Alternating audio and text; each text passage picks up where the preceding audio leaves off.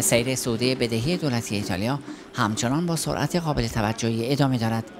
بانک مرکزی ایتالیا در تازه ترین گزارش خود اعلام کرد بدهی دولتی این کشور در ماه مارس یعنی سوم ماه سال جاری میلادی با ثبت رکوردی جدید به 2300 میلیارد یورو رسید که نسبت به ماه قبلش نزدیک به 16 میلیارد یورو افزایش نشان می‌دهد.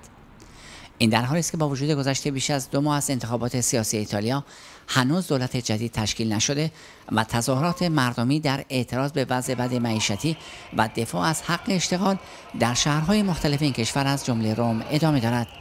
Le puoi lasciare tranquillamente a casa e non va bene questo. قرار از شماری از ما نگهبانان را که مسئولیت تامین امنیت و ایمنی اماکن و تأسیسات رو در روم بر عهده داریم از کار اخراج کنند. برای همین در اینجا تجمع اعتراضی برپا کردیم. تا بگیم مشکلات معیشتی و حقوقی عمده ترین دغدغه ماست و نمی‌توانند ما رو اخراج کنند.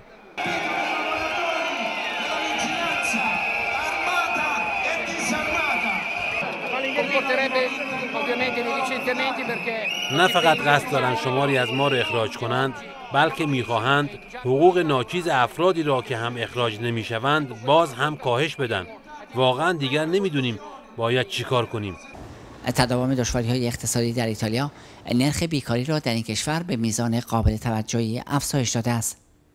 بر اساس آمارهای منتشر شده در ایتالیا از آغاز بحران اقتصادی تا کنون بیش از یک میلیون ایتالیایی برای پیدا کردن فرصتهای شغلی و بهبود وضعیت معیشت خود به کشورهای دیگر مهاجرت کردند. حمید معصومی نژاد خبرگزاری صدا و سیما رام.